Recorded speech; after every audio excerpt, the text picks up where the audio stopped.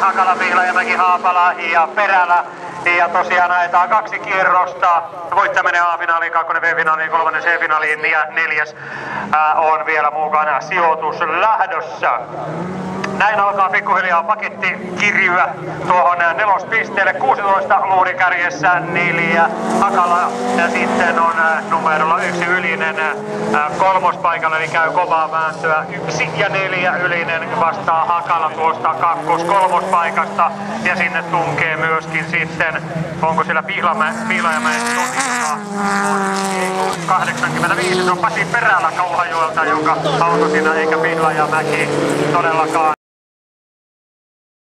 Edelleen kärjessä, neljä Hakala, sitten numero yksi Ylinen, Ylisen jälkeen 54 numerolla Laine, 59 Haapala, 38 Pihlajamäki ja sitten 85 eli Pasi Perälä, Kauhajoki ja Fiatti heittää autonsa pois ja näin Pasi Perälä karsiutuu. Ensimmäinen semifinaaleissa karsiutunut kuljettaja, koska hän ajaa ajokkinsa tuonne varikolle ja näin aletaan tulla ruutulipulle numero 16 Rami tämän lähdön neljä. Hakala menee B-finaaliin, Luuri siis A-finaaliin, neljä B-finaaliin, numero yksi Ylinen menee C-finaaliin.